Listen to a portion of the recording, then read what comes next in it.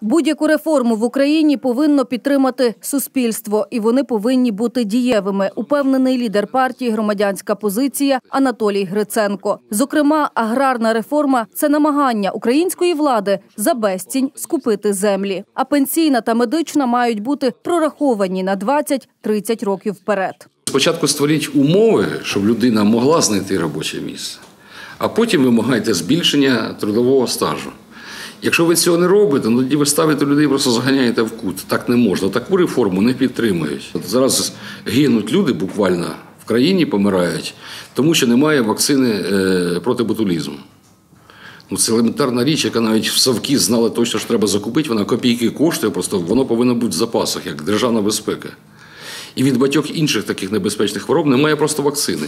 Тупо не працює система в елементарному режимі без жодного реформування. Те, що повинно бути ну, автоматично.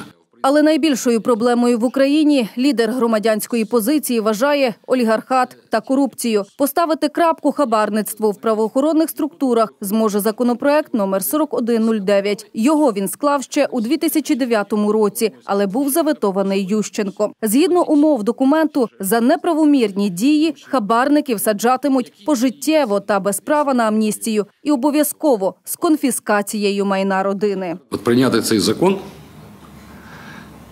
і буквально через кілька тижнів всі стануть в строї.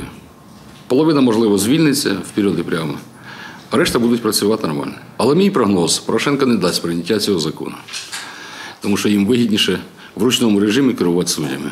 У разі, якщо Анатолій Гриценко виграє наступні президентські вибори, бачить три головні напрямки роботи, зокрема, силовий блок, де пріоритет надається силовим структурам, які захищають від зовнішнього агресора, а також судова реформа та енергозбереження. І суд доступний і бідному, і багатому, і діятиму по закону.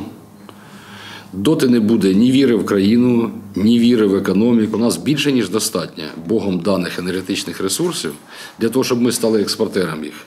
І нам ні грама російського газу не потрібно в принципі. І зменшення в загальній структурі енергетичного балансу частки газу.